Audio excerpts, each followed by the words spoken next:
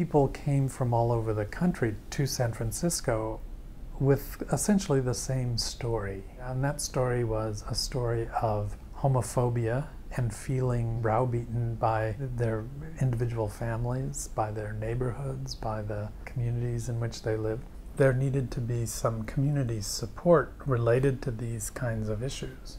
And so the AIDS Health Project was really born out of three basic ideas a need for professional mental health services, a need to bring psychological support and expertise in behavior change, and then lastly, a goal around community support.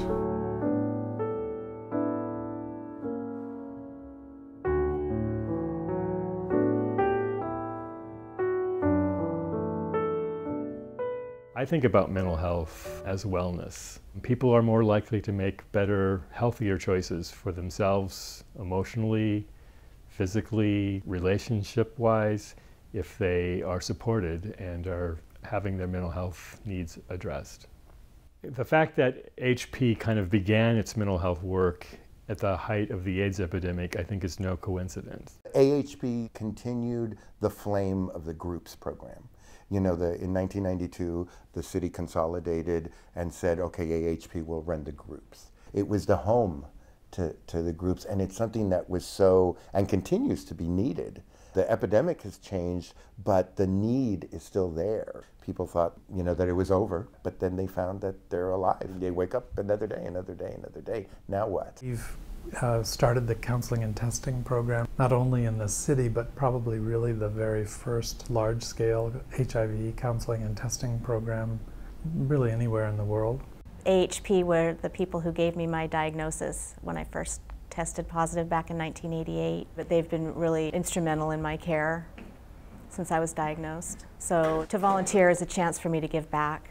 I want to keep whatever is going on that's so wonderful in my life right now and the element that I know is working is this program. What I do in my recovery is mine. And that's what I like about AHP. This is really my first thing that I was doing coming out of college. And so it was really, it was exciting and I was nervous and it ended up being everything and more that I expected. I feel like I really value the counseling skills that I've gained. Not only has it helped me in my counseling sessions, but in just interactions with people in my everyday life. I think when people think of LGBTQ issues, they think of gay marriage or they think of, you know, workplace discrimination, which are very important things. But mental health of queer people, that oftentimes gets swept under the rug. We're not only doing mental health for the HIV community, but we've started looking more at working with the LGBTQ community.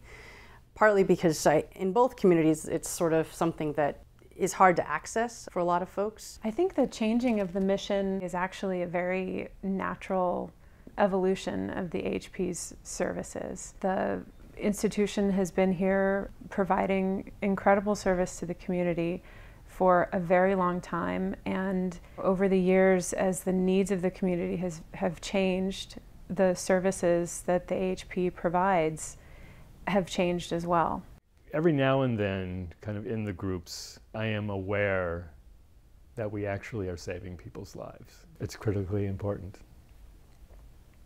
There's a principle um, in, in theology that sort of talks about the idea of not just you know living life or you know going beyond like surviving or you know living, but actually flourishing. It really makes AHP a space that allows for flourishing.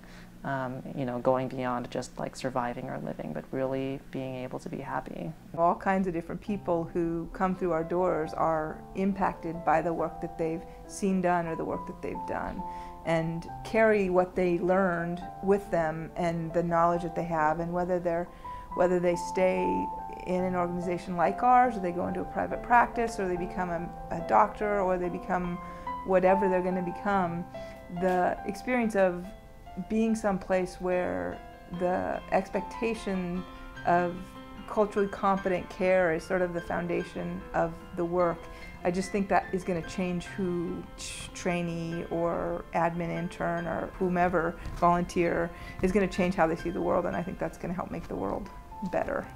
Not to be too grandiose, but um, I do.